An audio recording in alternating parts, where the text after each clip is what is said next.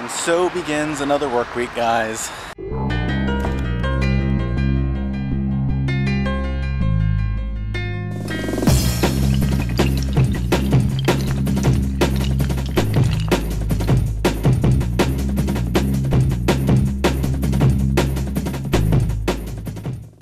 I really hope you all had an awesome weekend and had an awesome Easter hanging out with family or wherever you did. Um, we had an awesome time. And now back to work. I skipped this gym in the morning because I didn't do any laundry and I didn't have any gym clothes. So I just skipped. Oh, finally home guys after a long day. Let's go check on the patient to make sure he's still alive. He got yelled at by his nurse today that said he was overdoing it in his recovery and smacked him down and told him he had to stay in bed for like the next 72 hours.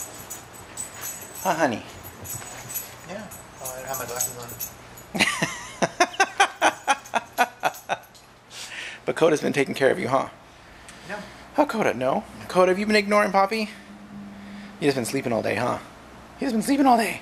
So the fun times just never end where we live. Um, so we heard some like screaming and craziness happening outside, and we just figured it was some crazy homeless person walking by because you know what happens. Um, but I guess he ended up getting arrested on the corner of our street. Um, there were two cop cars there. I have no idea. Who knows? Some crazy person. Um, I don't know if my neighbors must have called him because he's probably doing more stuff than just yelling because they're the ones that are actually on the corner. And so yeah, I just drove by a bunch of cop cars and some dude in the back seat of a of a cop car. Young guy too, you know, it's not like some old crazy person. He was like my age type crazy person. So what can I say? It happens in the area that we live. It's always, you know, it's always interesting and never boring. And now I'm off to get some food. Rocky has decided he wanted nachos, which frankly sound really good. So I'm gonna score me some nachos. Can I just say that these nachos smell fan fucking tastic, and I want to rip into them right now. Just sitting there, right there, just waiting, waiting to be eaten. So I was listening to the radio on the way to get these nachos, and uh, Macklemore's song "Can't Hold Us" just came up, and it's their brand new song, and it's honestly, it's, I think it's my favorite song on the album. Um, I love Macklemore.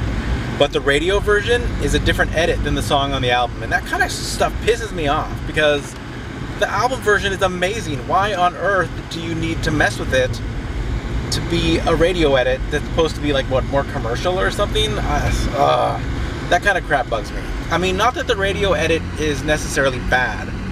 I just think the original album version is better. So does that ever bug any of you guys? Like you hear songs and they either water it down or they change something, you know, for the radio to make it appeal more to the masses when the original version is way better. Let me know in the comments what you think about that. Alrighty guys, I'm cutting this video short um, because I didn't film much today and I'm tired because I didn't sleep much this weekend. So until tomorrow guys, love and bubbles.